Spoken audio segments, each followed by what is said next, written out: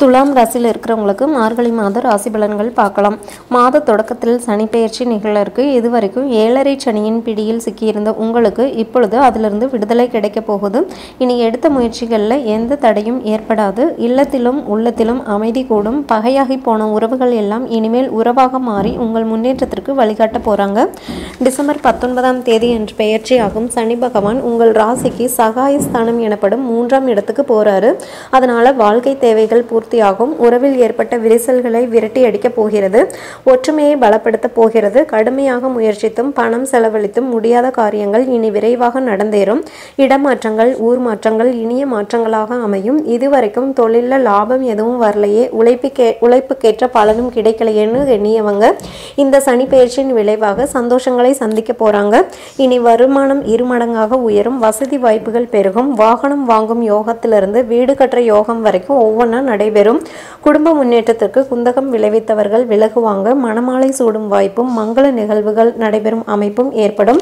மாத தொடக்கத்திலேயே குரு மங்கள யோகம் புத சுக்கர யோகம் ஆகிய இரண்டு யோகங்களும் ஏற்படும் விதத்துல கிரக நிலைகள் இருக்கு.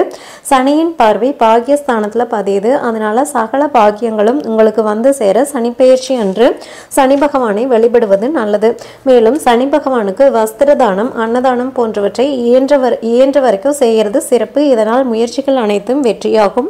டிசம்பர் இருபத்தி ஒன்றாம் தேதி தனுசு ராசிக்கு சுக்கிரன் போறாரு. உங்களோட ராசிக்கு அதிபதியானவர் சுக்கிரன். அவர் அஷ்டமாதிபதியாகவும் இருக்கிறாரு. அந்த சுக்கிரன் சகாயஸ்தானத்துக்கு வரும் பொழுது ஆரோக்கிய தொல்லைகள் அகலும். உற்சாகத்தோடு பணிபுரிவீங்க. வ- பணவரவு திருப்தி தரும். வழக்குகள் சாதகமாக முடியும். குடும்ப உறுப்பினர்களில் ஒரு சிலர் உத்தியோகம் சம்பந்தமாக எடுத்த முயற்சிகளில் வெற்றி கிடைத்து உதிரி வருமானங்களும் வந்து சேரும். ஆடை ஆபரணங்கள் வாங்குறதுல ஆர்வம் காட்டுவீங்க. இல்லத்தில் இருக்கிறவங்களோட தேவையை பூர்த்தி செஞ்சு மகிழும் நேரம் இது. பெண்வழி பிரச்சனைகள் அகலும். லாபாதிபதி சூரியனோடு சுக்கிரன் சேர்றதுனால தொழிலில் புதிய பங்குதாரர்கள் வந்து இணைந்து பொருளாதார வளர்ச்சிக்கு வித்திடுவாங்க. உங்களோட ராசிக்கு ஒன்பது பன்னிரெண்டு ஆகிய இடங்களுக்கு அதிபதியானவர் புதன். அவர் ஜனவரி நான்காம் தேதி சகாயஸ்தானத்துக்கு வர்றாரு. அதனால முன்னோர் சொத்துகளில் முறையான பங்கீடுகள் கிடைக்கும்.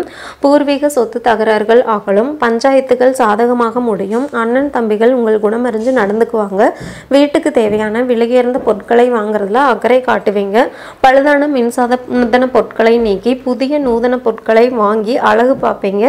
மாமன் மைத்துனர் வழியில் மங்கள நிகழ்வு நடைபெறுவதற்கான அறிகுறிகள் தென்படும். அரசியல் அப்புறம் பொதுநலத்தில் இருக்கிறவங்க இழந்த பதவியை மீண்டும் மீண்டும் பெறுவாங்க. இந்த மாதம் செவ்வாய் தோறும் முருகப்பெருமானை வழிபாடு செய்வது நல்லது.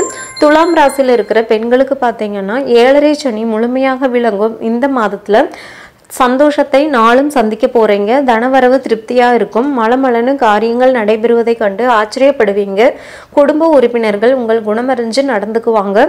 கடுமையா பேசியவர்கள் இனி கனிவாக பேசுவாங்க. இடம் வீடு போன்றவற்றை உங்கள் பெயரிலேயே வாங்கும் யோகம் உண்டு. கணவன் மனைவிக்குள் பாசமும் நேசமும் கூடும். பிள்ளைகளால் பெருமை வந்து சேரும். ஆபரணம் வாங்குறதுல ஆர்வம் காட்டுவீங்க. அடகு வைத்த நகைகளை மீட்பீங்க. தாய் அப்புறம் சகோதர வர்க்கத்தினர் உங்களுக்கு ஏற்ற விதத்துல நடந்துக்குவாங்க. உடன்பிறப்புகளின் ஆதரவு கூடுதலா இருக்கும். உத்தியோகத்தில் இருக்கிறவங்களுக்கு வேறு இடத்துக்கு மாறுதல்கள் கிடைக்கும். வேலைப்பழுவும் குறையும். ராகு கேதுக்களுக்குரிய சிறப்பு வழிபாடுகளை மேற்கொள்வது நல்லது. சனீஸ்வரர் வழிபாடு சந்தோஷத்தை நிலைக்க வைக்கும். உங்களுக்கு இந்த மாதத்தில் நல்ல நாட்கள்னு பார்த்தீங்கன்னா டிசம்பர் பதினாறு பதினேழு இருபத்தி ரெண்டு இருபத்தி மூன்று ஜனவரி ஒன்று இரண்டு ஆறு ஏழு பன்னிரெண்டு பதிமூன்று. உங்களுக்கு அதிர்ஷ்ட நிறம் கிரே. மேலும் தகவல்களுக்கு சேனலை சப்ஸ்கிரைப் பண்ணுங்கள் தேங்க்யூ